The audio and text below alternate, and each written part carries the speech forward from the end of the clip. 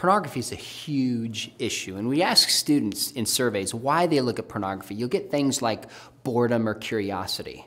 But what really interests me are the deeper heart reasons why a young person will be drawn to pornography in the first place. And I look at it kind of like a tree. At the branches at the top are really any addiction that somebody can have. It could be an addiction to gambling, addiction to alcohol, addiction to pornography.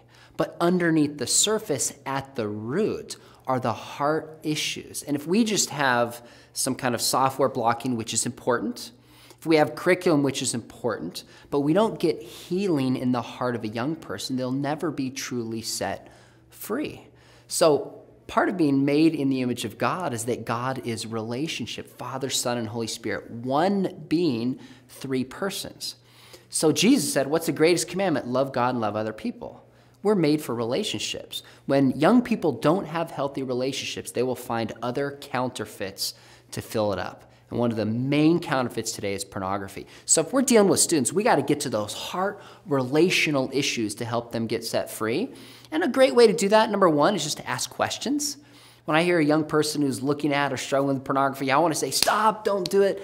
And sometimes there's a time where we just speak boldly and preach into a kid, but oftentimes listening expressing trust, and asking questions. How does this affect you? How do you think this will affect your future marriage? How does this make you view people differently? By questions we can draw out of a young person and help guide them ultimately what is true. And then the second thing is just use stories. People love stories. Jesus told stories, right? In fact, he, he told tons of stories we can remember. People remember stories, they relate to them, and the defense goes down. So if I tell a kid, I want to give you three reasons why pornography is bad and you should stop looking at it, defense goes up.